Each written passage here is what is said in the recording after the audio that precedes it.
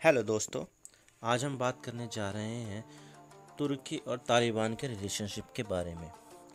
तालिबान के प्रवक्ता सुहेल शाहीन ने कहा है कि अफ़गानिस्तान और तुर्की का हिस्टोरिक रिलेशंस रहा है और तालिबान की सरकार तुर्की के साथ सहयोग बढ़ाना चाहती है।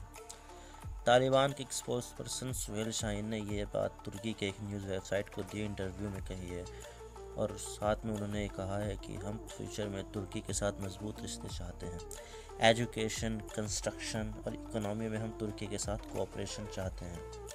जब इनसे तुर्की के राष्ट्रपति तैयब अर्दोगान की फॉरेन पॉलिसी पर पूछा तो इन्होंने कहा कि हर देश की अपनी एक फॉरेन पॉलिसी होती है।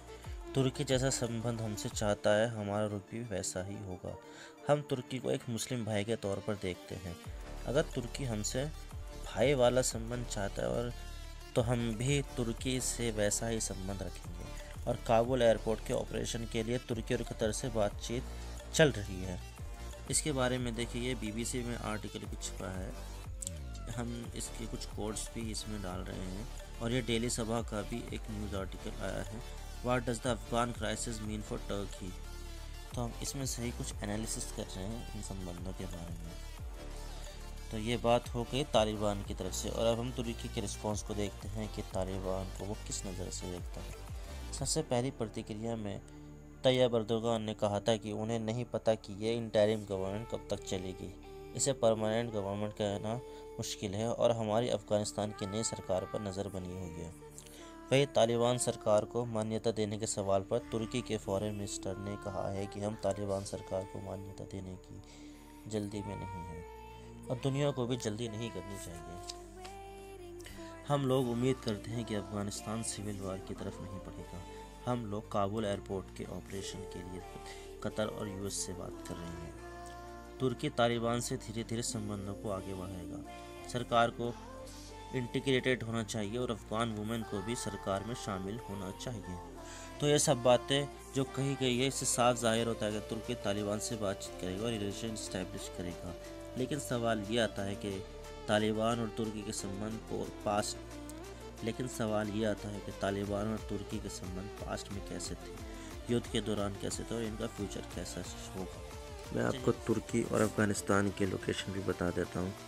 देखिए ये ऑरेंज कलर में जो है ये तुर्की है जिसका एक छोटा सा हिस्सा बालकन पेनिनसुला में भी लगता है।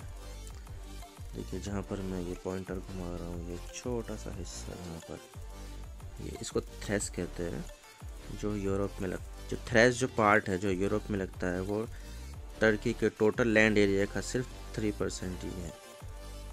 और ये यहाँ पर एक अफ़गानिस्तान देश है, जिसको कभी कभी सेंट्रल एशियन कंट्री भी कंसीडर किया जाता है, जो ग्रीन कलर में दिखाई दे रहा है। अब हम इसको एक बड़े रूप में देखते हैं। देखिए, ये है एक बड़ा मैप जिसमें डिटेल में आपको बता दिया गया है कि लोकेशन कहाँ कहाँ पर है दोनों देशों की। जहाँ पर मैं पॉइंटर घुमा रहा हूँ, यहाँ पर टर्की है और जहाँ पर मैं ये पॉइंटर इधर घुमा रहा हूँ, ये अफ़गानिस्तान है। चलिए हम इसी बात को आगे बढ़ाते हैं और पता करते हैं कि तुर्की और तालिबान के रिलेशंस के बारे में। जैसा आपको पता है कि तालिबान का जन्म पाकिस्तान से हुआ है और तुर्की के पाकिस्तान के साथ बहुत क्लोज रिलेशंस हैं। और कुछ एक्सपर्ट का कहना है कि तुर्की ने तालिबान से जुड़े कुछ आतंकियों से संबंध बनाए हैं। इनका रिलेशंस तब कमज़ोर हुआ जब अमेरिका के वार एंड टेरर में तुर्की भी एक नेटो मेंबर होने के नाते शामिल हुआ, लेकिन तुर्की सीधे रूप से लड़ाई में शामिल नहीं था, बल्कि ट्रेनिंग लॉजिस्टिक सपोर्ट्स और कंस्ट्रक्शन के रूप में पार्टिसिपेट किया था। तुर्की ने लगभग बारह हज़ार अफगान सैनिकों और पुलिस को ट्रेनिंग प्रोवाइड की है। तुर्की और तालिबान के रिश्ते थोड़े कॉम्प्लिकेटेड रहे हैं क्योंकि अमेरिका के वारन टेरर में वो अमेरिका के साथ था, जिससे तालिबान को अफ़गानिस्तान की सत्ता से उखाड़ फेंका। लेकिन अब सवाल ये होता है कि तुर्की और तालिबान कैसे रिलेशनशिप में होंगे? वेल सिचुएशन के हिसाब से देखा जाए तो अमेरिका और नेटो की पूरी सेना अफ़गानिस्तान से निकल चुकी है और वहाँ एक वैक्यूम क्रिएट हो चुका है। और तुर्की इसको एक मौके के रूप में देख रहा है और इसकी शुरुआत भी तुर्की कर चुका है। काबुल एयरपोर्ट के ऑपरेशन को लेकर तुर्की तालिबान और कतर से बात कर रहा है और तुर्की वहाँ पर सिविल वार को प्रिवेंट करना चाहता है।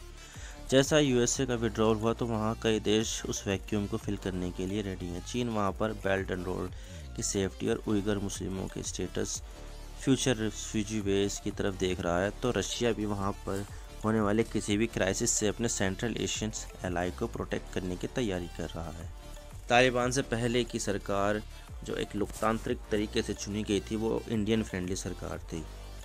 लेकिन तालिबान तो खुद पाकिस्तान में बनाया तो ज़ाहिर सी बात है कि तालिबान सरकार पाकिस्तान फ्रेंडली है। तो पाकिस्तान भी अपने इंटरेस्ट को प्रोटेक्ट करने में लगा है। लेकिन अब तो फ्यूचर ही बताएगा किसके इंटरेस्ट अफ़गानिस्तान में सेफ़ रहते हैं या नहीं। अगर आपका भी कोई विचार है तो आप कमेंट बॉक्स में लिखिएगा। और अगर आपको वीडियो पसंद आई हो तो वीडियो को लाइक कीजिए। चैनल को सब्सक्राइब कीजिए बेल आइकन को दबाइए। और आपका कोई भी विचार हो वीडियो के बारे में तो प्लीज़ वो कमेंट कीजिए। तब तक के लिए मैं आपसे विदा लेता हूँ। Signing of